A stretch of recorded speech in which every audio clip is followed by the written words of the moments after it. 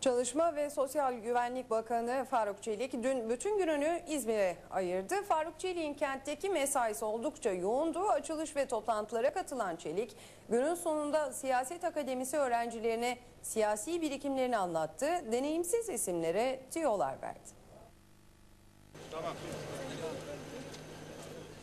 İzmir'de yoğun bir gün geçiren Çalışma ve Sosyal Güvenlik Bakanı Faruk Çelik, finali Siyaset Akademisi programında yaptı. AK Parti ARGE birimince düzenlenen ve geleceğin siyasetçilerini yetiştirmeye hedefleyen Siyaset Akademisi'nde ders veren Faruk Çelik, öğrencilere ilginç önerilerde bulundu. Politikacı olmayın ben. Hani hep anlatılır ya, hepinizin bildiği bir fıkrayla bitirelim.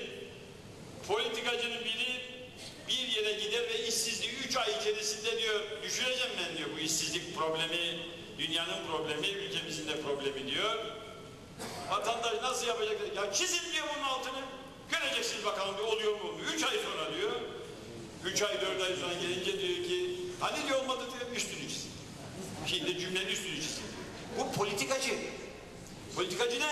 İki yüzlü. Siz siyasetçi olun arkadaşlar. Çünkü konu siyaset akademisi.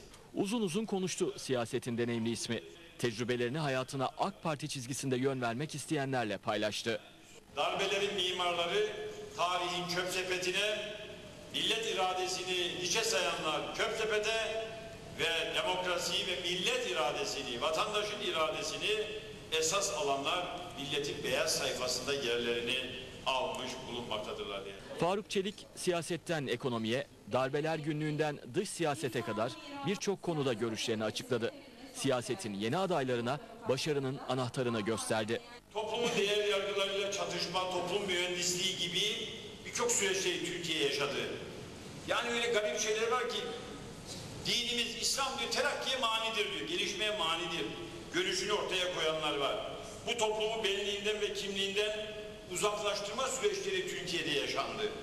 Ve milyonlarca insanın öldüğü İkinci Dünya Savaşı yani 1945'lerden sonra Evrensel İnsan Hakları Beyannamesi uluslararası metinlere girerken Türkiye'de değişim rüzgarları esmeye başlıyor. Bu programla yoğun bir günü geride bırakan Çelik daha sonra kentten ayrıldı.